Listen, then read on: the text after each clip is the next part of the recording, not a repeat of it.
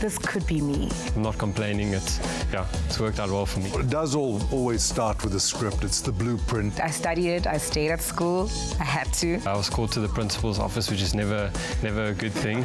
You sort of feel that voodoo in the air. We generally nick your players. Looks like we might be nicking your coaches to come and help us. No, no ways. We're not going to do that. I finally felt grown up and I finally felt, you know, that I knew my job. Don't look at me like that. I'm not giving you any more. That's on the Dan Nicholl Show tonight at 8 o'clock, only on Supersport.